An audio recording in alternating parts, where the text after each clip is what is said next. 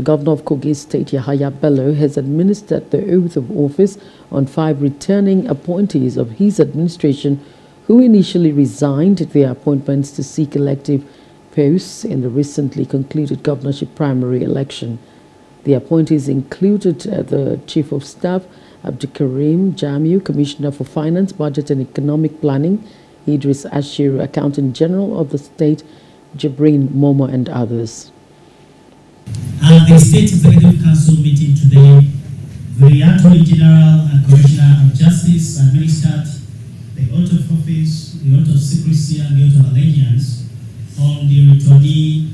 appointees who have now been um, allotted their portfolios. They are the, the Chief of Staff to His Excellency, Pharmacist Jamil Mohammed Asuku,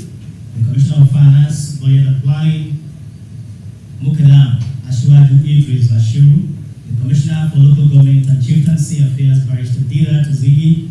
the Accountant General of the State, Alhaji Jibril Momo, and the Auditor General of the State, Alhaji Yakubu Wakala. They were all charged to continue to be loyal to the administration and continue to move forward the wings of the new direction